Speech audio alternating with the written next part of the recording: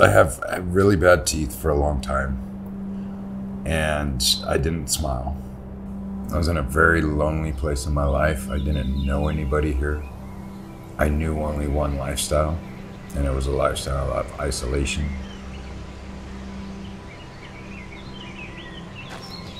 Very emotional. I was very withdrawn. I did not communicate with people. And when I did, a lot of people were like, you know, and it's, it's humiliating. And why, why are you going to keep reaching your hand out in that fire? I didn't feel like there was a chance to, to get out of it. I, you know, dental insurance, not being employed. Who's going to employ a guy that has the messed up teeth? I, how do you do an interview?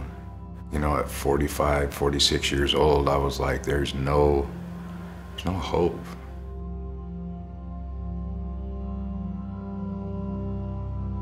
I'd, I'd gotten to a point where I knew something had to change. And I literally went to my car, sat in my car, and prayed, and then Googled places to get dentures when you don't have no money.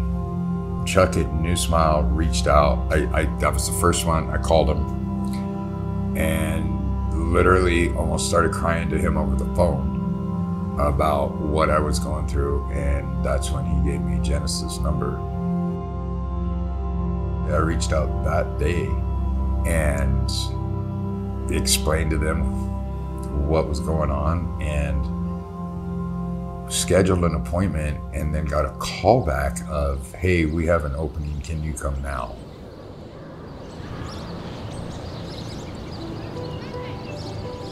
I, I walked in shaking and they're like, okay, this is what we're gonna do. And I laid on the, on the table and I was crying. I was literally sobbing because it was embarrassed. I was so embarrassed and scared. And what if this and what if that?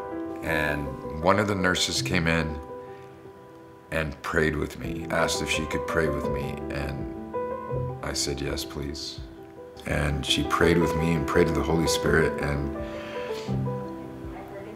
and it, calmed me down better than anything I could have ever experienced. It, and then I felt no pain. I believe it was October, started my teeth, November, finished my teeth, December, baptized, started my business, and from December 13th to current day as I sit here today, it's a whirlwind.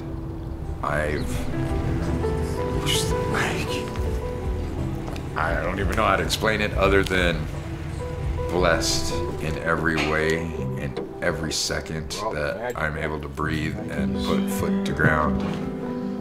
I know the Lord is working in my life. And it started with just having the confidence of getting a smile. And now, when I shake somebody's hand and I make eye contact, you know, they don't lose it. I've been told numerous times by different engineers, just investors, people, they're like, you got beautiful teeth. I'm like, thanks.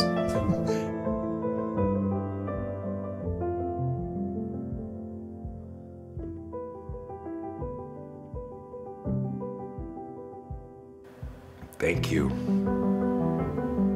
for your donations. Thank you for